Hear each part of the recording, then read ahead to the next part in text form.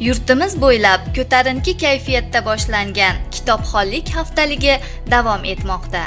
Mazkur haftalik rejasidan joy olgan navbatdagi tadbir Biz buyuk davlat buyuk tarix buyuk madaniyat yaratgan xalqmiz shiori ostida ikkinchi renessansning yirik namoyandasi zahiriddin muhammad bobur hayoti va faoliyatini o'rganishga bag'ishlangan biz bobur avlodlari mavzusida o'tkazildi.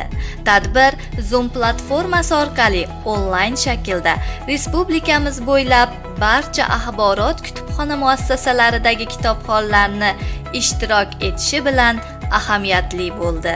Tadbirda andijon viloyat hokim o'rinbosari azizbek maqsumov ishtirok etib o'tkazilayotgan mazkur haftalik viloyatimizda kitob va kitobxonlikni yanada yuksaltirishda eng samarali vosita ekanligini alohida ta'kidladi va barchani kitobxonlik haftaligi bayrami bilan qutladi.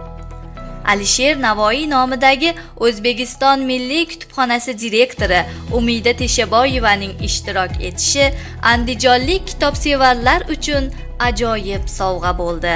Tadbir davomida andijon davlat universitetining adabiyotshunos olimlari bobur xalqaro jamoatchilik fondi vakillari va viloyat musiqali drama teatri aktyorlari hamda muhammad yusuf ijod maktabi o'quvchilari tomonidan ma'ruzalar kuy qo'shiqlar bobur monologi ijro etildi.